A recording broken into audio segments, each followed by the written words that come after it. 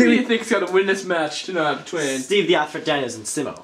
Uh, it'll be close, but it'll be a, probably a draw because yeah, a draw. What, what, what, what's the score? Uh, one to one. One to one. Hmm. Yeah, Good yeah. Good thank, you. man. Thank, thank you for your time. Okay. We'll see you later. Bye, fuckheads.